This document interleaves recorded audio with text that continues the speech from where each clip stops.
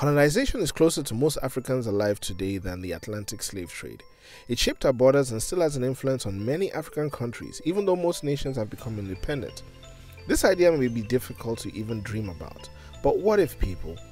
Things were reversed and Africa colonized Europe. What would the world look like today? That is what we'll discuss today on Africa Assemble. By the way, be a friend and subscribe, click the notification button to never miss our videos, and like this video to help us make more content you love about our amazing continent. Let's dive in. This is by far the most ambitious video and so some information may seem off, but let's take a look at two parts to this. The first will be when it could have happened, and the outcomes as a result. As Africans could not have colonized Europe during the Scramble of Africa period due to a lack of advanced weaponry and unity to push into Europe, there could have been other times throughout history the most obvious time would have been during the Spanish flu. When people were succumbing to the pandemic that killed over 50 million people, the virus only really affected Africa in the second wave. While dealing with the pandemic, Europe would have a difficult time if they were invaded by a united Africa. Another possible time for invasion would have been around the first time Europe explored Africa in the 15th century. If the Africans that first came into contact with the Europeans somehow overpowered the Europeans and moved into Europe with the element of surprise, occupation could have happened. Or maybe in the 1300s during the Black Death when a third of Europe was wiped out. If Africans were able to evade the plague terrorizing Europe, Africans could have occupied Europe for a period of time. On the contrary, what would have made any form of colonization difficult would have been sub Saharan African countries pushing past the Sahara Desert to the shores of North Africa. It would have taken years to travel across the desert and then weeks to sail across the Mediterranean before embarking on conquest and settling satellite stations in Europe before pushing upwards. So, after all that, if Africa was able to colonize Europe during those time periods, what would have happened? Apart from influencing the culture of the pre existing inhabitants, Africans would also have taken advantage of the less powerful nations. People of that era were completely different from the way we are today, and slavery would have been implemented by Africans. Taking advantage of the resources of the land would have happened, and some Europeans would have been taken to Africa. Another negative of this would be Europeans becoming vulnerable to new diseases due to isolation from contact with others.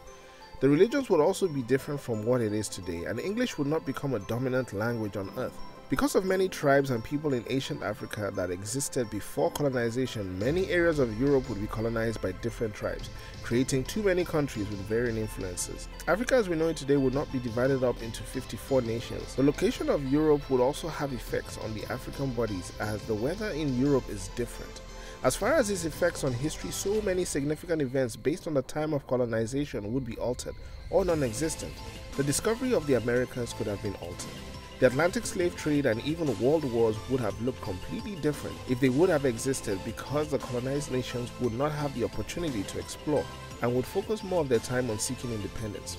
The relationship between the African colonizers and Asia would also be different as Europe could have looked for aid from Asia. However, like everything in life, nothing lasts forever, and eventually either the colonies would collapse due to infighting or the oppressed nations would eventually seek independence. Sometimes we can connect colonization to racism, but the truth is the scarcity of human rights and neglect for the well-being of others was a thing of the past. If somehow Africans were the first to occupy other European nations, circumstances could have been different, with Africans having to apologize for genocide of European people, or take responsibility and return certain artifacts back to Europe. And yes, Africans have invaded Europe in the past, and this was way back in the 8th century when the Moors from North Africa invaded Spain for about 8 years, occupying Spain for over 800 years. However, they were eventually ousted. During the occupation, the introduction of concepts like cuisine, hygiene, and fashion were passed on to the inhabitants of the land. Now we turn the question to you. What would Europe look like if we were colonized by Africa? What language would be spoken and how would the world have looked like today? Share this with a friend and drop a comment if you disagree or would like to request a video. Till then, brothers and sisters, have a nice day.